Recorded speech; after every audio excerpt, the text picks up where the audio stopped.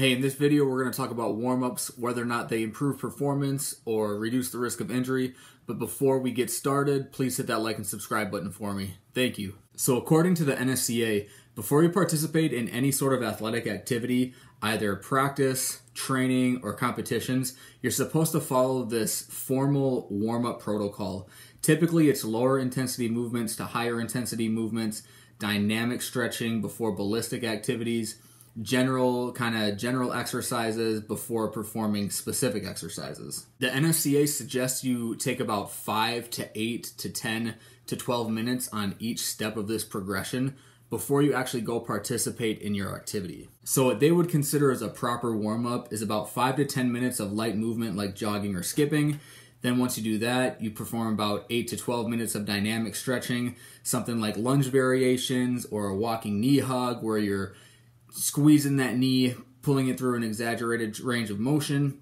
And then you can move on to more sport specific movements like A skips, B skips, bounding, things of that nature. And then after that, according to the NSCA, you're now prepared for your athletic activity of the day. And to go through this type of proper warm up would take about 15 to 20 minutes. And according to the book, the benefits of warming up like this include faster muscle contraction and relaxation of both agonist and antagonist muscles, improvements in rate of force development and reaction time, improvements in muscle strength and power, improved oxygen delivery, increased blood flow to active muscles, and enhanced metabolic reactions. And while those benefits are accurate, you don't actually need to go through that formal of a progression to get those benefits. Those benefits can actually be achieved through just general activity. Several recent research studies have actually looked at different warm up protocols and their effects on performance in jumping and sprinting. The different warm up protocols used in these studies include 5 minutes of jogging versus 5 minutes of jogging plus dynamic stretching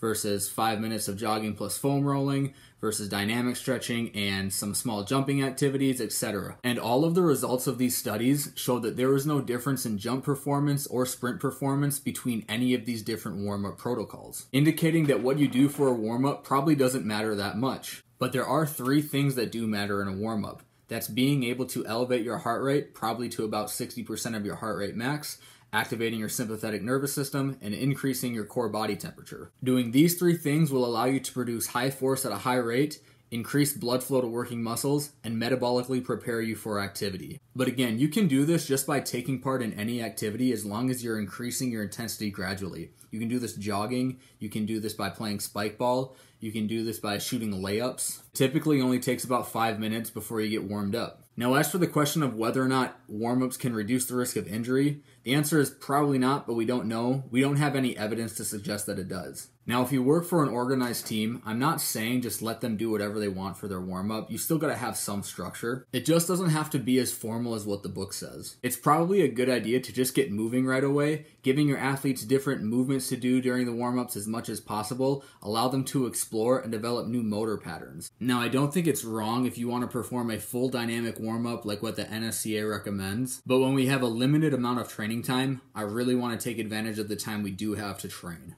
I hope that information is helpful. Please hit that like and subscribe button for me. Thank you and have a great day.